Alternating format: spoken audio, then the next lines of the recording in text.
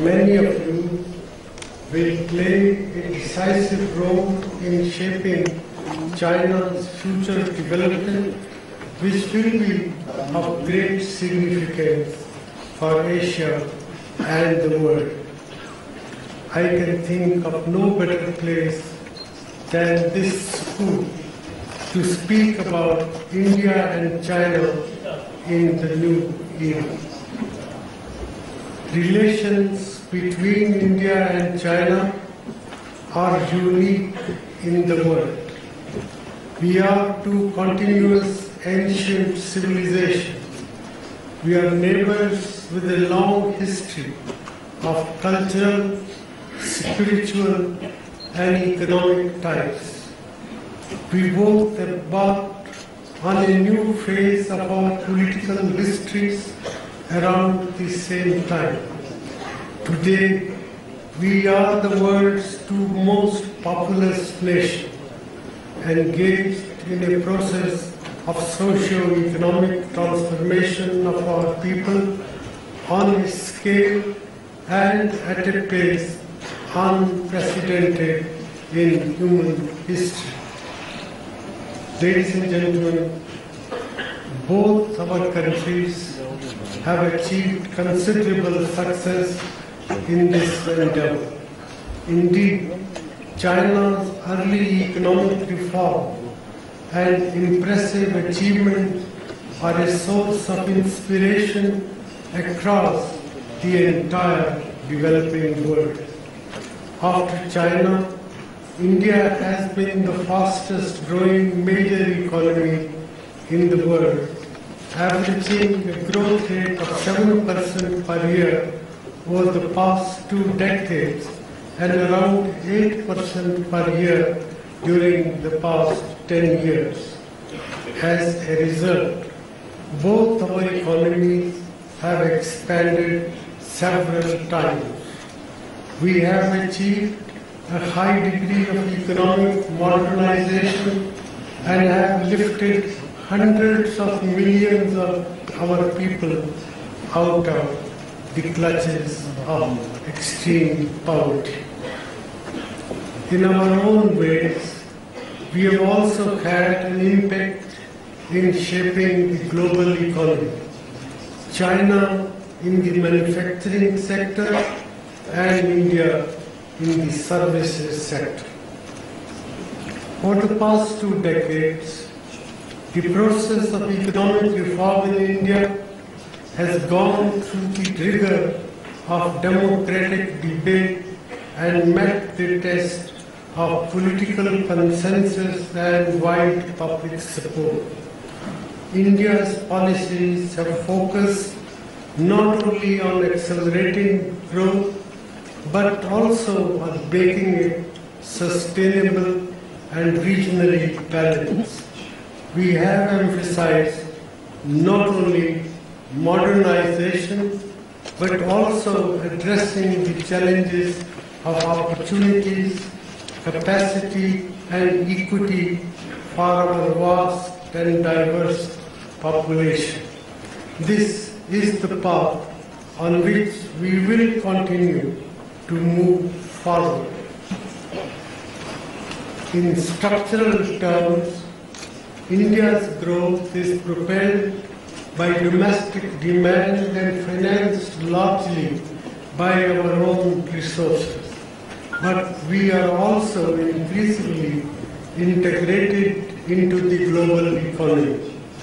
The prolonged global economic crisis has affected us as it has many other emerging economies.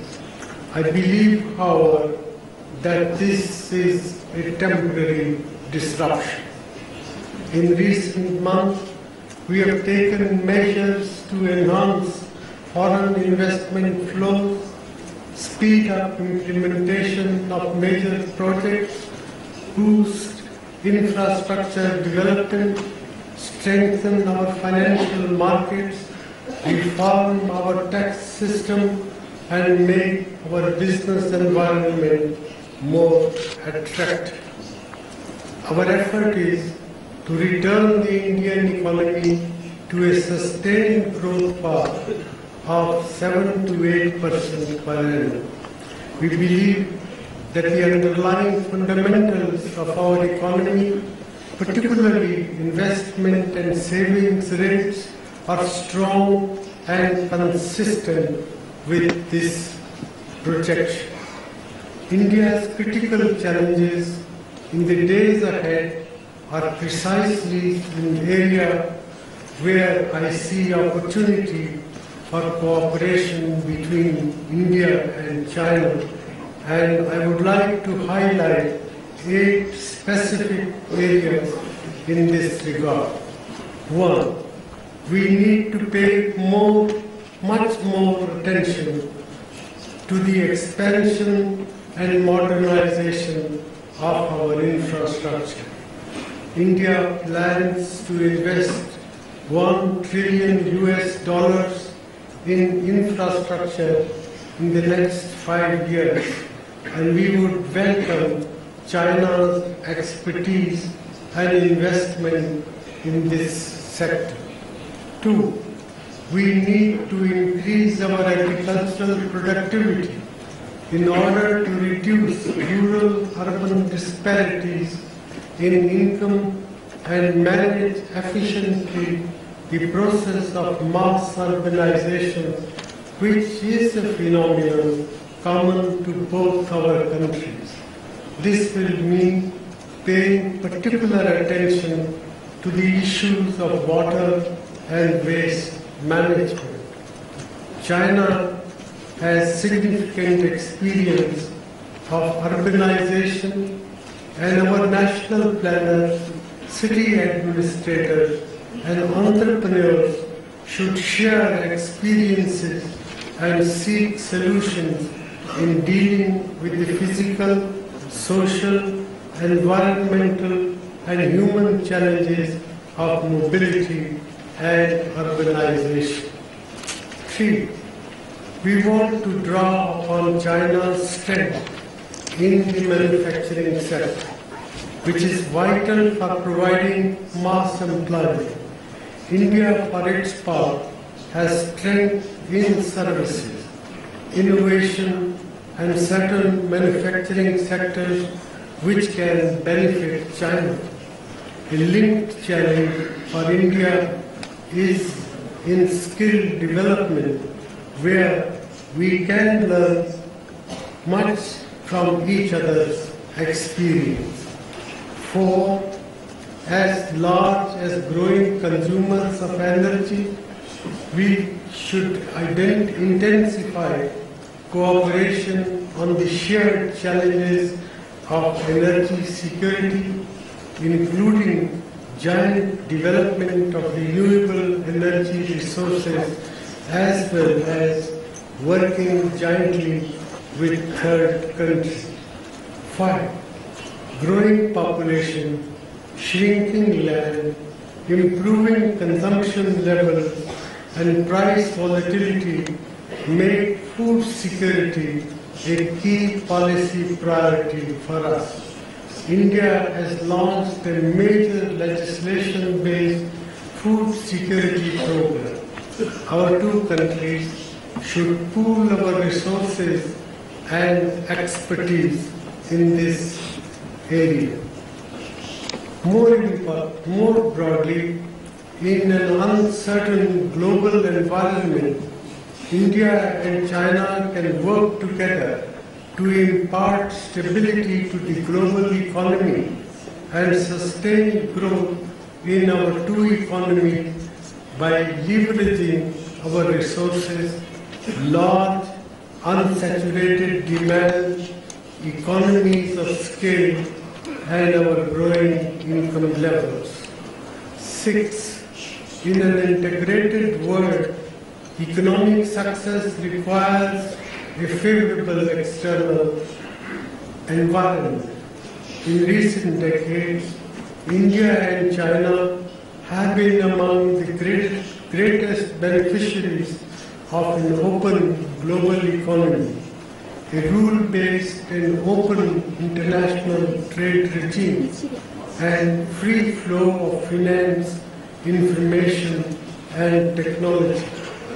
However, the emerging global environment may not remain as favorable as it has been in the recent decades. We should therefore work together to make the international economic environment more conducive to our development efforts. Please allow me to elaborate this point. After the prolonged global economic crisis of 2008, we face a fundamentally different future for the world economy. We are in the midst of a significant and ongoing transformation where both political and economic power is being diffused. A multipolar world is emerging, but its contours are not yet clear. Protectionist sentiments in the West have increased, and the global trading regime may become fragmented by regional arrangements among major countries. India and China have a vital stake in preserving an open, integrated, and stable global trade regime, even as we work toward work together to foster regional economic integration. We should also intensify our effort to support trade and investment and reduce risks in emerging markets. The BRICS Development Bank and the Contingency Reserve Arrangement are examples of such cooperative efforts. Our cooperation will also help accelerate reforms in global financial institutions. Both India and China are heirs to civilizations that value nature and have practiced sustainability through the ages.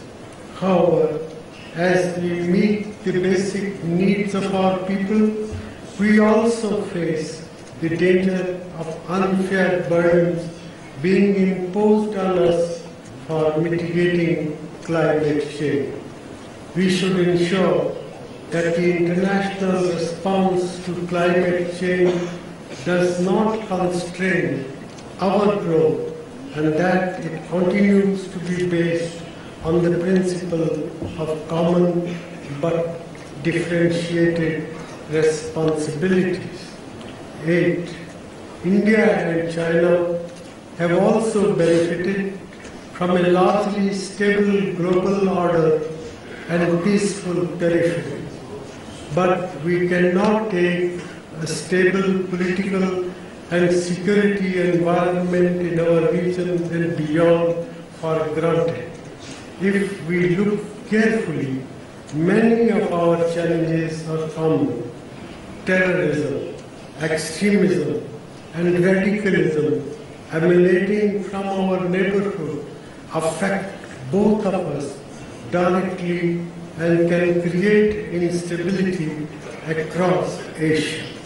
Similarly, maritime security in the Pacific and Indian Oceans is vital for our economies, just as peace and stability in West Asia and Gulf are essential for our energy security.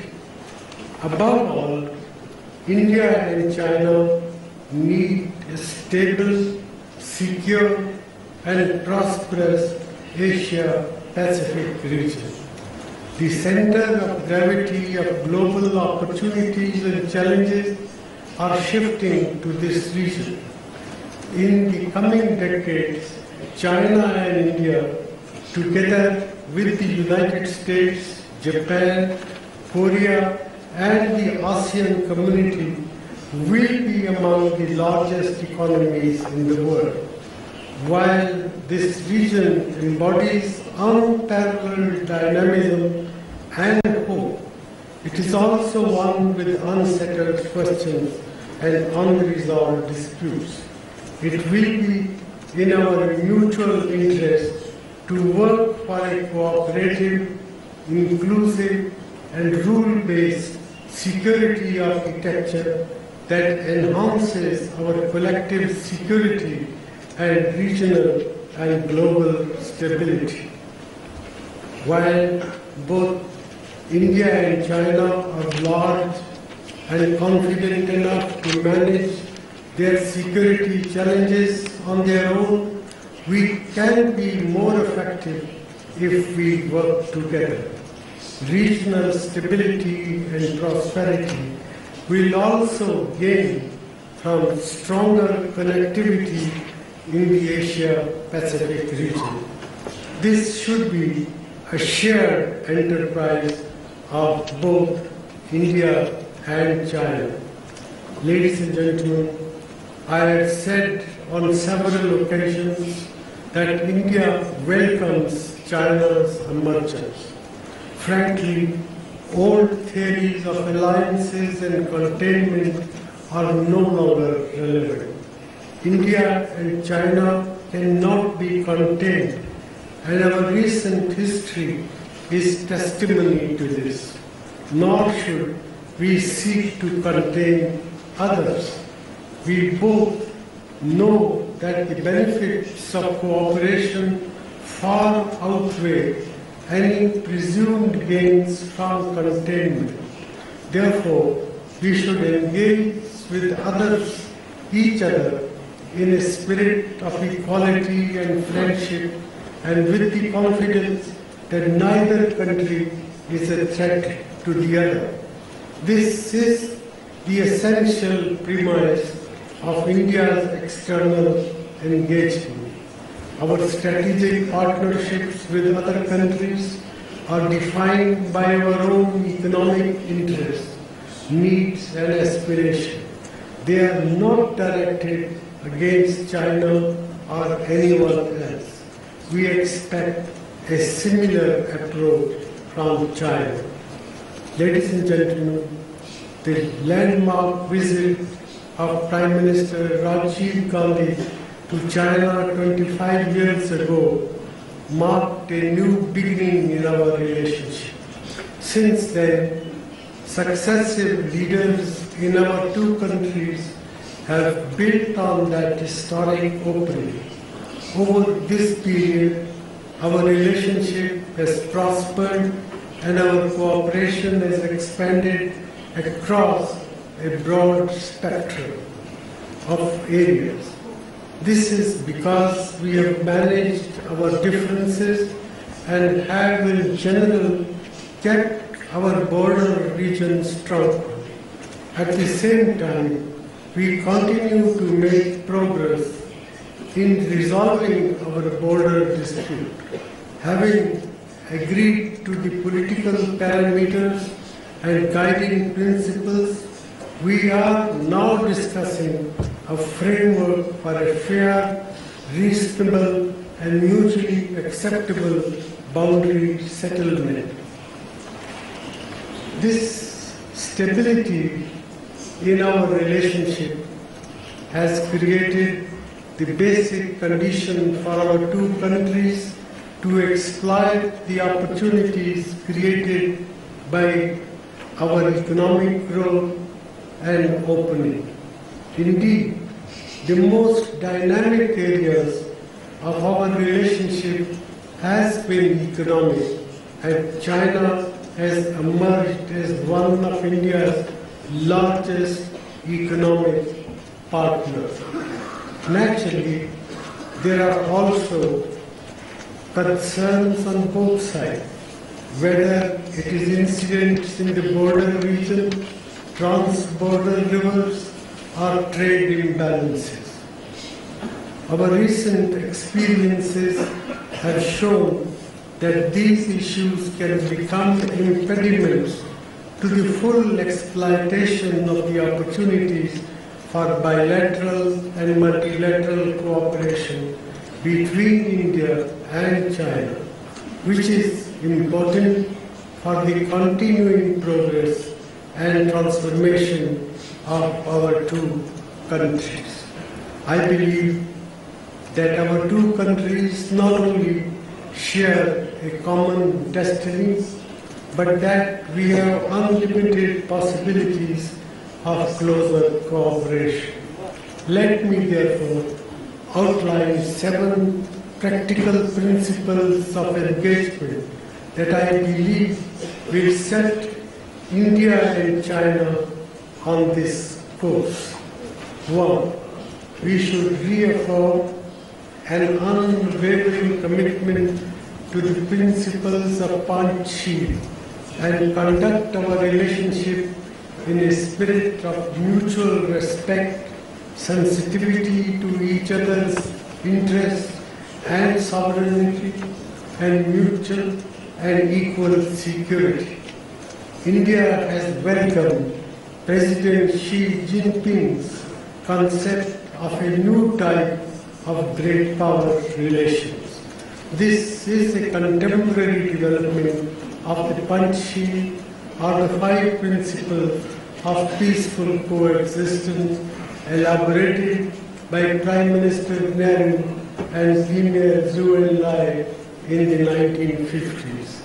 It highlights in a modern context the need for creating interstate relations among major powers based on mutual trust, sensitivity to each other's core concerns, and a commitment to resolve all outstanding issues through peaceful dialogue. We should develop our relation on the basis of these principles. Two, maintaining peace and tranquility in the India-China border areas has been the cornerstone of our relations. It is essential for mutual confidence and for the expansion of our relations. We should do nothing to disturb that. Indeed, we can achieve it by adhering to our agreements and utilizing our bilateral mechanism effectively. At the same time, we should move quickly to resolve our boundary issue. Three, we should increase consultations and cooperation on complex issues such as trans-border rivers and our trade imbalances so as to strengthen our strategic and cooperative partnership. Four, we should maintain a high level of strategic communication and consultations in a spirit of transparency on our region and our periphery, eliminating misunderstandings between our two countries and building experience of positive cooperation. As the two largest countries in Asia, our strategic consultation and cooperation will enhance peace, stability, and security in our region and beyond. Five, our convergence on a broad range of global issues should lead to enhanced policy coordination on regional and global affairs and cooperation in regional and multilateral forums in the political, economic, and security domains. Six, we should harness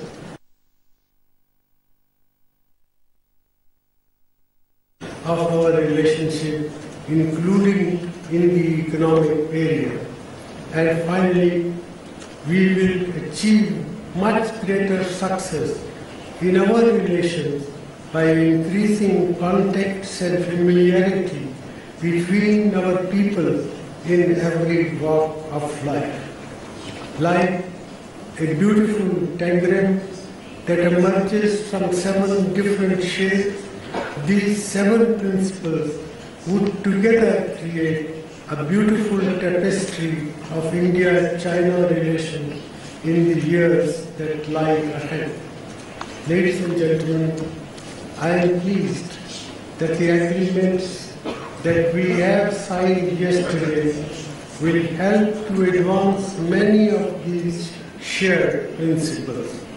As officials who will determine public policy, I hope you will do everything to advance our cooperation and promote India-China relations from your position of responsibility.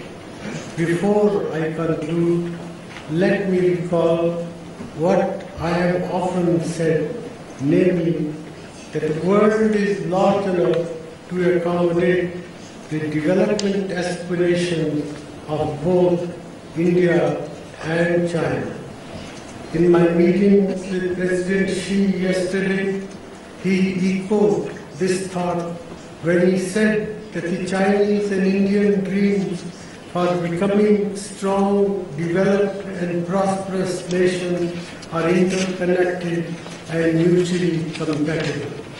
My meetings with President Xi and Premier Li give me great confidence that we can fulfill this noble vision.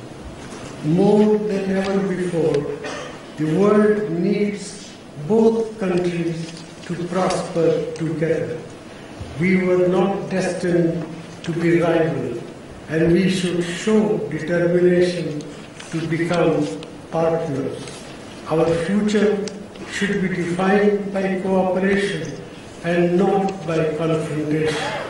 It will not be easy, but we must spare no effort. What is at stake, ladies and gentlemen, is the future of India and China. Indeed, what may be at stake is the future of our region and our world. I thank you for your attention.